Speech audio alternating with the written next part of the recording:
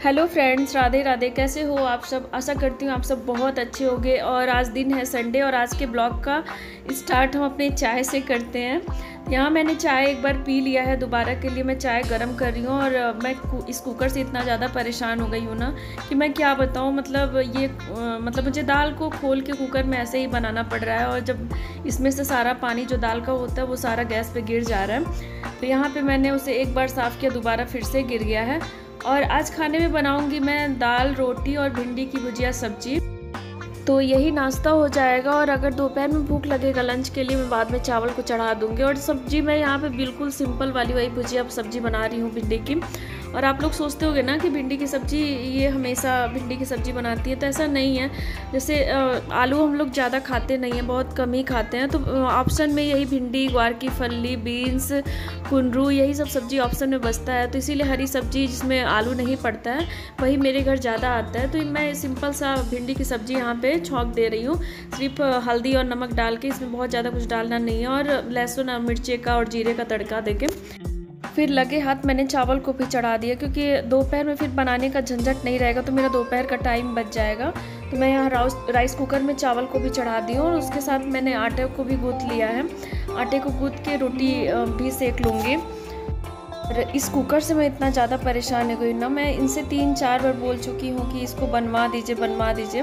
लेकिन इनके पास टाइम ही नहीं होता है कि मार्केट जाके इसको बनवाए और मुझे कुकर बनाने आता नहीं है। मुझे समझ में नहीं आ रहा कि इसमें प्रॉब्लम क्या है। वो वाला अगर कुकर होता तो उसमें समझ में आता कि आ, मतलब रबड़ का प्रॉब्लम है या सीटी का प्रॉब्लम इसमें तो मुझे कुछ भी समझ में नहीं आता। फ़र्स्ट टाइम मैंने ये वाला कुकर यूज़ किया है।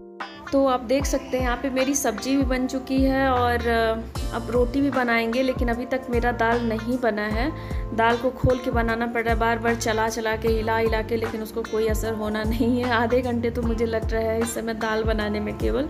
तो यहाँ पे मेरी पूरी पूरा खाना बन जा रहा है, चावल भी बन जा रहा है, चाय भी बन जा रहा है, सब्ज़ी भी बन जा रहा है, रोटी भी बन जा रहा है, लेकिन दाल बनते बनते पूरे मतलब अच्छा खासा टाइम लग जा रहा है। तो यहाँ पर मैं रोटी को भी बना लूँगी। जो एक कहावत है ना, दाल गलने वाला नहीं है तो सेम वही कहावत इस समय मेरे साथ हो रहा है कि हाँ दाल गलने वाला नहीं है, चाहे कुछ भी कर लो। और साथ में इस समय मैं चने भी डाल दे, चने का भी दाल डाल दे रही हूँ तो मतलब चने की दाल की वजह से थोड़ा सा और थोड़ा सा एक्स्ट्रा टाइम लग जा रहा है। तो यहाँ पे मैं फटाफट रोटियाँ सेक ले रही हूँ, सब्ज़ी वगैरह मेरा बन चुका है, केवल रोटी सेकना है, अभी लास्ट यही बचा है।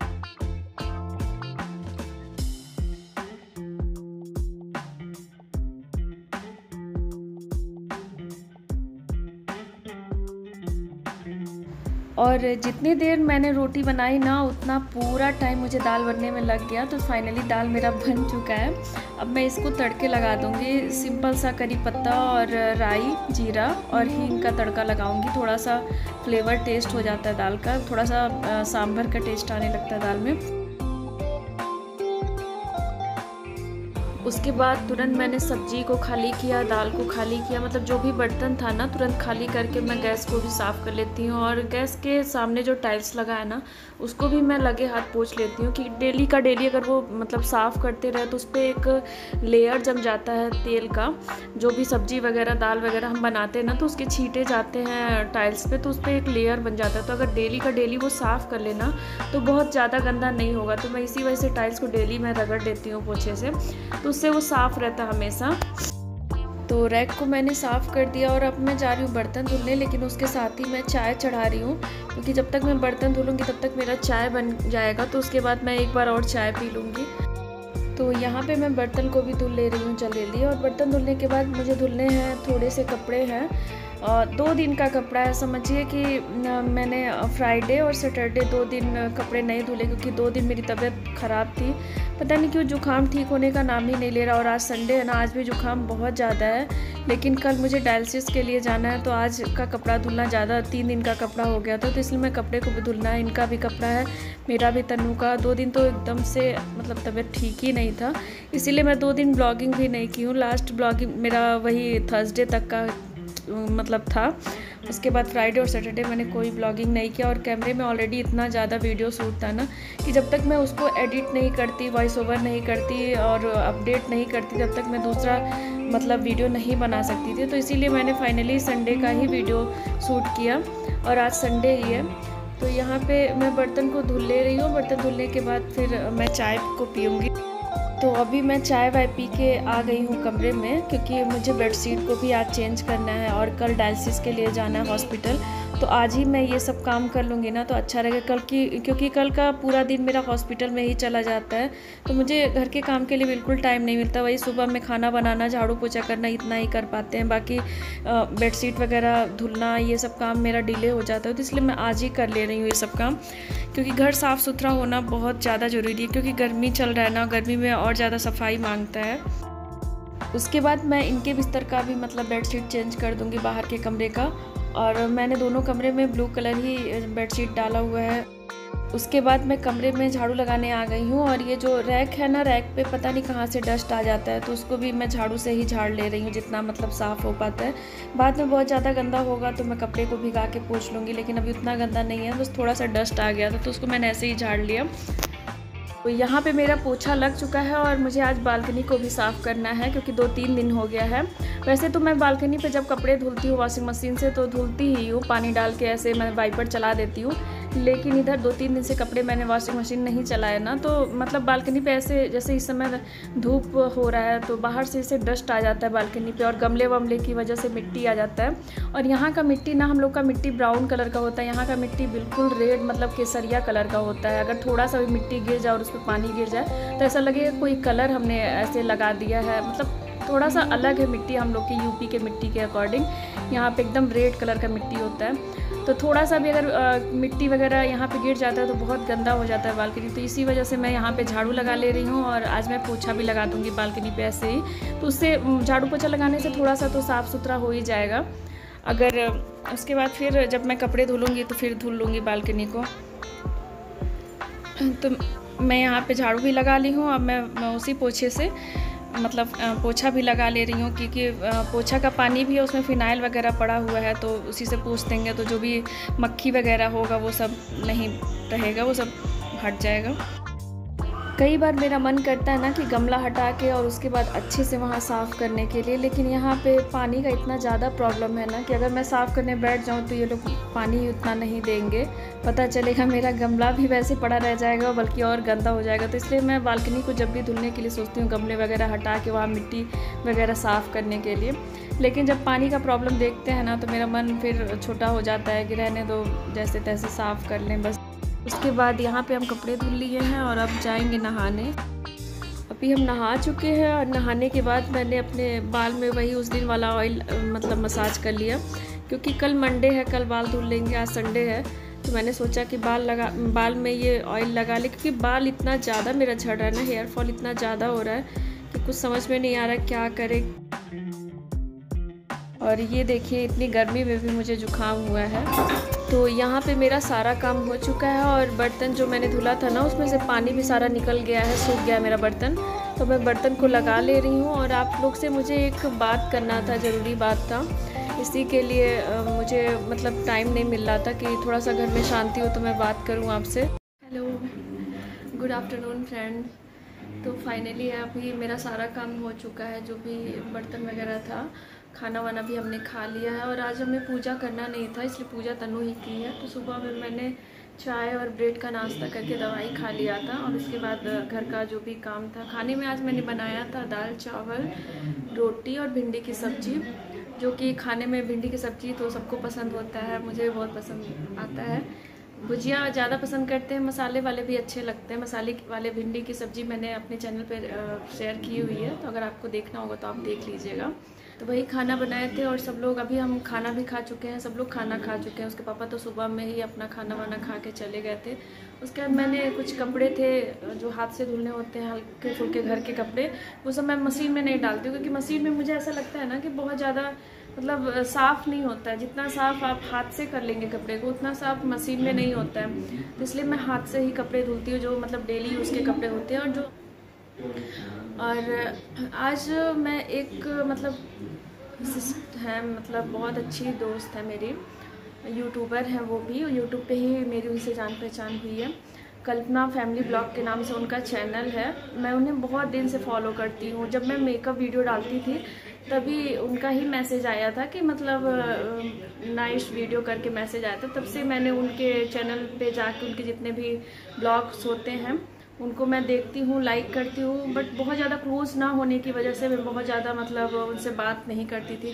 इधर कुछ दिनों से जब से मैं ब्लॉग बना रही हूँ, तब से मैं उनको फॉलो कर रही हूँ और उनके ब्लॉग में मतलब इतनी जानकारी वाली चीज़ें होती है, वो बातें इतनी मतलब सेंसियर बातें करती है ना उनकी बातों को सुन के मतलब एक हमेशा कुछ ना कुछ उनके ब्लॉग में ऐसा ही होता है कि जिससे आप कुछ ना कुछ सीख सकते हैं, कुछ ना कुछ जानकारी होती है। वैसे नॉर्मली घर में सबके बातचीत किया जाता है, कुछ ना कुछ दादी नानी से तो ज्ञान सबको ही मिलता है, लेकिन कल्पना जी जो है ना, उनके ब्लॉग में मतलब क्या मैं बताऊँ कुछ ना कुछ जानकारी वाली चीज़ें वो बताती रहती है तो मुझे उनका ब्लॉग देखना बहुत ज़्यादा पसंद है। और मैं उनके उनके लिए मैं दिल से धन्यवाद दे रही हूँ कि उन्होंने अपने चैनल पे, मेरे चैनल के लिए बोला, उन्होंने मुझसे बात किया, मुझसे, जैसे मैं हर हफ़्ते में दो बार डायलिसिस के लिए जाती हूँ। तो वो मतलब पूछ रही थी मुझसे एक बार कि आप हॉस्पिटल क्यों बार बार जाती हैं? तो मैंने बताया कि डियर, मेरे दोनों किडनी डैमेज हो चुकी है और मैं डायलिसिस पे आ चुकी हूँ और ऐसी ऐसी प्रॉब्लम है। उन्हें मैं, मैंने अपनी प्रॉब्लम्स उनसे शेयर किया और मैंने रिक्वेस्ट भी किया कि प्लीज़ आप अपने चैनल पे मेरे लिए एक बार बात करिए, बोलिए, ताकि कुछ मतलब मैं बहुत ज़्यादा मेहनत करती हूँ, लेकिन मेरे सब्सक्राइबर नहीं बढ़ रहे हैं, व्यूज़ नहीं बढ़ रहे हैं तो मैं बहुत ज़्यादा डिस्टर्ब हो जाती कभी कभी मैं डिमोटिवेट भी हो जाती हूँ कि मैं वीडियो को कंटिन्यू करूँ या छोड़ दूँ, क्योंकि घर के माहौल ऐसे हैं ना, और अपने फैमिली में ही और बाहर के भी माहौल में ऐसा है ना कि आजकल यूट्यूब को बहुत ज़्यादा लोग वो नहीं करते, अपने, आप लोग अपना काम पे ध्यान देते जाते, करते जाते हो, लेकिन अगर उस पर सफलता ना मिले ना तो बाहर से बहुत लोग आपको डिमोटिवेट करते ये फालतू का काम है, क्यों कर रही है, नहीं करना चाहिए। तो मतलब हर कोई यही कहता है कि ये फालतू काम है, फालतू टाइम वेस्ट कर रही है, घर की बातें शेयर कर रही है। बहुत सारे लोग ऐसे होते हैं ना डिमोटिवेट करते हैं, लेकिन फिर भी इंसान अपना काम करते जाता है, करते जाता है। ये सोच के कि आज नहीं तो कल ज़रूर मुझे इस पर सफलता मिलेगी, लोगों को मिल रहा है तो मुझे भी मिलेगा। भगवान ने अगर लोगों को, भगवान ने सफल किया है तो कभी ना कभी भगवान मेरी तरफ़ भी देखेंगे। तो मैंने यही सोच के यूट्यूब पे वीडियो अपना कंटिन्यू जारी रखा और पहले मैं मेकअप वीडियो डालती थी। आपने देखा होगा, मैं करीब एक डेढ़ साल तक मैंने सिर्फ़ मेकअप वीडियो ही डाला मतलब ब्लॉग बनाना नहीं सोचा, क्योंकि उस टाइम मैं मायके में रहती थी और मायके में ब्लॉग इसलिए नहीं बनाती थी कि बहुत सारे लोग हैं जो मतलब बहुत सारे यूट्यूबर्स को मैंने देखा कि उनके हेटर्स भी होते हैं, बहुत सारे सपोर्टर्स भी होते हैं। तो मुझे हमेशा डर लगा रहता था कि मैं मायके में रहती हूँ ना तो हज़ारों तरह के क्वेश्चन आएँगे, आप मायके में क्यों रहती हैं, आप ससुराल में क्यों नहीं रहती है? तो ये सब चीज़ें हैं ना तो इसकी वजह से मैं ब्लॉग नहीं बनाती थी, लेकिन अभी जब मैं इधर आ गई हूँ अपने हस्बैंड के पास तो मैंने सोचा चलो ब्लॉग ही, भी बनाती हूँ, क्योंकि मेकअप वीडियो के जो सामान होते हैं, आप भी जानते होंगे मेकअप में बहुत सारा सामान यूज़ होता है ब्रश होता है मेकअप के किट होते हैं, बहुत सारा चीज़ होता है तो वो सब चीज़ें मेरे पास है। मैंने जब मायके में ब्लॉग स्टार्ट किया मतलब मायके में यूट्यूब से मेकअप का मतलब स्टार्ट किया था तो मेरे पास काफ़ी चीज़ें मैंने ले लिया है, मार्केट से ख़रीद लिया, फिर मतलब ऑनलाइन भी मैंने बहुत सारी चीज़ें परचेज़ की, लेकिन जब मैं इधर आ गई ना तो इधर मेरे पास वो सारी चीज़ें नहीं हैं। मैं आई थी इधर ट्रीटमेंट के लिए, डॉक्टर को दिखाने, ऑपरेशन के लिए, उसके बाद फिर मुझे अचानक से रुकना पड़ा, क्योंकि इधर आने के बाद मेरा डायलिसिस स्टार्ट हो गया। तो अभी मुझे इधर रुकना पड़ा तो इसलिए मेरे पास कोई दूसरा ऑप्शन नहीं था कि मैं क्या करूँ। इधर मेरा टेंशन हो रहा था कि मैं अगर वीडियो को कंटिन्यू नहीं रखूँगी तो मेरा चैनल बंद हो सकता है। मुझे एक, मैंने डेढ़ साल इस पर काम किया तो मुझे इस चीज़ का हमेशा डर लगा रहता था। तो इसलिए मेरे पास कोई दूसरा ऑप्शन नहीं था कि मैं क्या करूँ। रेसिपी भी मतलब खाने में भी, खाना बनाने में भी मुझे इंटरेस्ट है। तो मैंने रेसिपी को भी शेयर किया, लेकिन मैंने देखा कि रेसिपी को उतना लोग लाइक नहीं कर रहे हैं। जितना मुझे रिस्पॉन्स ब्लॉग पे मिलता है, उतना रिस्पॉन्स मुझे रेसिपी पे नहीं मिलता। तो इसलिए मैंने फिर से ब्लॉग को भी स्टार्ट किया। इसीलिए मेरे चैनल का नाम मेकअप का भी है, ब्लॉग भी है, रेसिपी भी है। जब मैं उधर जाऊँगी अपने मतलब मायके की तरफ़ तो मैं वो सारी चीज़ें मेकअप का भी वीडियो में रख हाँ तो मैं कहाँ थी? तो वही मैं कह रही थी कि मैं मेकअप का भी वीडियो डालूँगी, क्योंकि मेकअप करना मेरा हॉबी है, मुझे बचपन से ही पसंद है तो मेकअप का भी मैं वीडियो आगे डालूँगी। लेकिन मैं बात करी थी कल्पना जी का। कल्पना जी ने मेरे साथ वो किया जिसके लिए मैं तहे दिल से उनका धन्यवाद करूँ तो भी बहुत कम होगा। क्योंकि मैंने बहुत सारे यूट्यूबर से, बहुत बड़े बड़े यूट्यूबर से मैंने हेल्प मांगी थी अपने लिए। लेकिन किसी ने भी मेरी हेल्प नहीं की। कल्पना जी से मैं सिर्फ़ एक बार बोला मैंने और उन्होंने तुरंत मेरी हेल्प की। तो इसके लिए मैं तहे दिल से मतलब उनका शुक्रिया अदा करती हूँ और वो बहुत अच्छी ब्लॉगर हैं, बहुत अच्छे उनके वीडियो होते हैं और उनके वीडियो मतलब कुछ ना कुछ ज्ञान वाले होते हैं। वो कुछ ना कुछ अपने बच्चों से बात भी करती है ना तो भी उन मतलब अपने बच्चों को कुछ ना कुछ सिखाती रहती है। ये सब चीज़ें मुझे बहुत मतलब मोटिवेट करता है उनकी तरफ़। उनकी वीडियो का मुझे हमेशा इंतज़ार रहता है और मैं देखती हूँ और हमेशा मतलब उनकी वीडियो को देखती हूँ लाइक करती हूँ। मुझे सच में उनका वीडियो बहुत अच्छा लगता। है मतलब बाई नेचर वो बहुत अच्छी हैं। तो बस यही कहना था कि तहे दिल से मैं कल्पना जी का धन्यवाद करती हूँ कि उन्होंने मेरे लिए अपने चैनल पे रिक्वेस्ट किया, बात किया। इसके लिए मैं उनका कितना भी शुक्रिया अदा करूँ तो वो भी कम है। बाकी आप लोग अगर जो मेरे सब्सक्राइबर मेरे चैनल को देखते हो, वो प्लीज़ आप उनके भी चैनल पे विज़िट करिए, उनके भी चैनल को सपोर्ट करिए, वो और आगे जाएँ, क्योंकि वो नेचर की बहुत अच्छी लेडी हैं। उनको आगे बढ़ना चाहिए। मैं चाहती हूँ और मैंने उनके चैनल पे देखा ना उन्होंने कई लोगों के लिए सपोर्ट किया है, कई लोगों के चैनल के बारे में अपने चैनल पे बताया है, बात किया है। तो इन सब चीज़ों से पता चलता है कि वो नेचर की बहुत अच्छी रेटिंग है तो उनको सपोर्ट मिलना ही चाहिए, क्योंकि हर कोई आजकल अनजान लोगों की हेल्प नहीं करता, जिसके बारे में ना जाने। लेकिन उन्होंने पहली बार ही मतलब मेरे लिए इतना किया तो बस यही कहना था मुझे आज के वीडियो में। अगर वीडियो बहुत लेंथी हो गया होगा, मुझे पता है। लेकिन आप थोड़ा सा आप लोग मैनेज करिएगा। तो फिर मिलते हैं अपने नेक्स्ट वीडियो में। तब तक के लिए बाय